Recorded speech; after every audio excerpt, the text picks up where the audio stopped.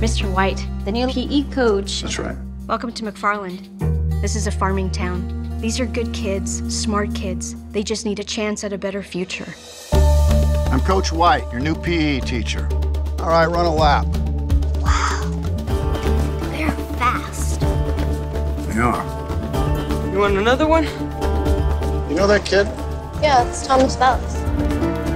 Do you know how fast you were going? What are you, a cop? Because you were running a mile in five minutes. So? Principal Camillo, I want to start a cross-country team. That's a private school sport. We have kids here who seem like they can run forever.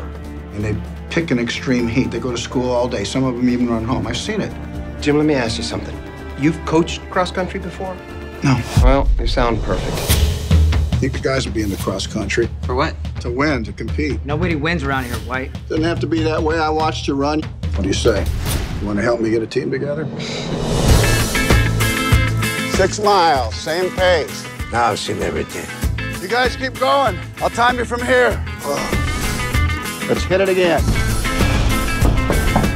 Mr. White, ¿Ya comió? Pásalo. you want to eat? Put them on. Ain't no way I'm wearing these. Yeah, well, then you're running naked. If we wear them, you wear 'em, Missy. Each hour that my boys train with you is one hour they do not work with me.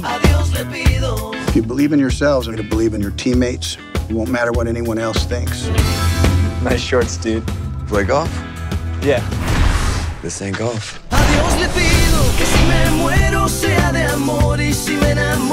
Jose, hold on to Victor.